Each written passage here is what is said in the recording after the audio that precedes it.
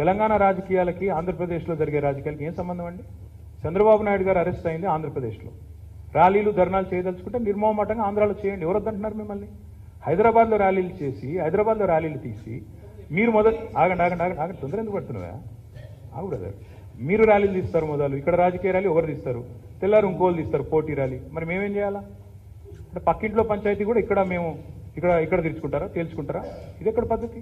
నేనేమంటున్నా అంటే చేల్చుకోండి ఆంధ్రప్రదేశ్లో ఒకరితో ఒకరు తలపడండి. రాజమండ్రిలో భూమి దద్దరిల్లిపోయి ర్యాలీలు తీయండి.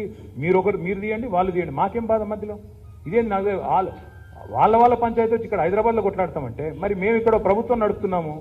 శాంతి భద్రతల సమస్య తలెత్తితే సహజంగా ఇక్కడ ప్రభుత్వానికి బాధ్యత ఉంటుంది కదా. అటువంటిప్పుడు అట్లెట్లా అలవ్ చేస్తాము? వాళ్ళు ఒకరు ముందు వస్తారు నెక్స్ట్ ఇంకొక ఆయన ర్యాలీ అంటాడు. ఇక వాళ్ళ ఘర్షణలకు ఇది వేదిక కావాలా? విజయవాడ లేదా? అమరావతి లేదా? రాజమండ్రి లేదా? కర్నూలు లేదా? అక్కడ చేయండి వద్దంటున్నారు ఎవరన్నా? అక్కడ చేయకుండా ఇక్కడ వచ్చి చేయడం రాజకీయం చేయడం ఏంటంటే నాకు అర్థం కాదు. ఇంకోటి ఇది అచ్చంగా రెండు రాజకీయ పార్టీల తగాదా అక్కడ. ఆ పార్టీలకు ఇక్కడ స్థానం లేదు ఉనికి లేదు. ఇక్కడ ఎందుకు మరి? నాకు అర్థం కాదు. అల్టిమేట్గా ఒకటే బాస్ చెప్పేది నేను. అల్టిమేట్గా ఒకటే. Issues like these sensitive issue అన్నప్పుడు సెన్సిటివ్గా హ్యాండిల్ చేయాలి. ఇంకోటి రన్నింగ్ కామెంటరీ చెప్పినట్టు రోజు కామెంటరీ చెప్పాల్సిన అవసరం లేదు కదా. న్యాయ పోరాటం చేస్తున్నారు చంద్రబాబు నాయుడు గారు. న్యాయ పోరాటం చేస్తున్నారు ఆయనకి ఏ న్యాయం జరుగుతుందో జరుగుతుంది. న్యాయస్థానంలో ఉంది matter. The matter is sub judice why this exuberance ఆడు మ్యాటర్ సబ్జుడీస్ ఉంది ఎవరు పడితే వాళ్ళు రోడ్ మీదకి వచ్చి కామెంట్లు చేయొచ్చా? అది కూడా తప్పే కదా. ఇట్ ఈస్ అండర్ ఎగ్జామినేషన్ మాకు see I'm friends with Lokesh I'm friends with Jagan I'm friends with Pawan Kalyan also నాకు అందరూ దోస్తులే. నాకు ఆంధ్రాలో నాకేం తగాదాలు లేవు. అక్కడ నాకు ఇప్పటికిప్పుడు పోయి యుద్ధాలు చేయాల్సిన అవసరం లేదు. వాళ్ళకు కూడా ఇక్కడ ఏం లేవు కదా స్టేక్స్ అట్లాంటప్పుడు లేనిపోని పంచాయతీలు ఎందుకు పెడుతున్నారు మాకు మాకు? మేము చక్కగా ఉన్నాం ఇవాళ హైదరాబాద్లో. ఏ ప్రాంతం వాళ్ళైనా ఆంధ్ర అయినా రాయలసీమ అయినా కేరళ అయినా పంజాబ్ అయినా అందరూ కలిసిమెలిసి ఉన్నాం. ఇక్కడ లేని పంచాయతీలు ఎందుకు పెట్టాలా? రెండు రాజకీయ పార్టీలు ప్రజలు బాగున్నారు. ఆంధ్ర ప్రజలు ఇక్కడ ఉన్న వాళ్ళు సుభిక్షంగా ఉన్నారు సంతోషంగా ఉన్నారు పదేళ్ళ నుంచి సుఖంగా ఉన్నారు. వాళ్ళని ఇబ్బంది పెట్టడం ఎందుకు ఇక్కడికి వచ్చి మీరు?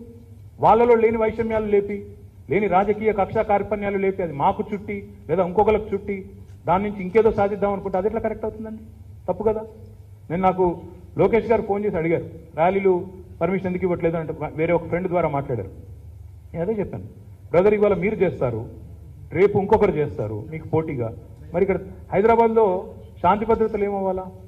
అది కూడా ఐటీ కారిడార్లో తెలంగాణ ఉద్యమంలో కూడా ర్యాలీ కాలేదు. గుర్తెచ్చుకోండి మీరు. అప్పుడు కూడా అప్పటి ప్రభుత్వాలు అలౌ చేయలేదు. ఎందుకంటే ఐటీ యాక్టివిటీ దెబ్బతినకూడదు. ఆ ప్రాంతంలో వాతావరణం దెబ్బతినకూడదని మేము ప్రయత్నం చేస్తుంటే హైదరాబాద్ సుభిక్షంగా ఉండాలి శాంతంగా ఉండాలి ఇవాళ ఎంతోమంది వేలాది మంది ఆంధ్ర సోదరులు ఇక్కడికి వచ్చి పెట్టుబడులు పెడుతున్నారు. మరి వాళ్ళ పెట్టుబడులు కానీ వాళ్ళ భవిష్యత్తు కానీ ఇక్కడ వాళ్ళకు వస్తున్న రిటర్న్స్ కానీ అవన్నీ బాగుండాలంటే హైదరాబాద్లో లా అండ్ ఆర్డర్ ఎఫెక్టివ్గా ఉండాలి. ఉండాలి అంటే ఆ రాజకీయ గొడవల్లో మేము తల దూర్చకూడదు. మేము అందుకే ఒక స్టాండ్ తీసుకున్నాం. మాకు ఆ విషయంలో మా పార్టీగా ఎలాంటి ఆసక్తి లేదు. ఎవరైనా ఇండివిజువల్గా మాట్లాడింటే మాట్లాడిండొచ్చు. కానీ అది పార్టీ స్టాండ్ కాదు.